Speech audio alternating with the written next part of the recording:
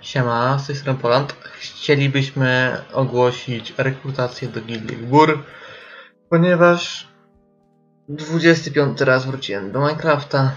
Mm, No i ogólnie wymagany jest tak 15 lat, premka z pelerynką, no i żeby nie zamulać, tylko robić hip-hop. Ogólnie to rekrutacja odbędzie się na TeamSpeaku, Gbur lub Poland bez PL i tak dalej, więc wszystko będzie napisane w opisie, wszelkie wymagania, więc siemanko. Elo!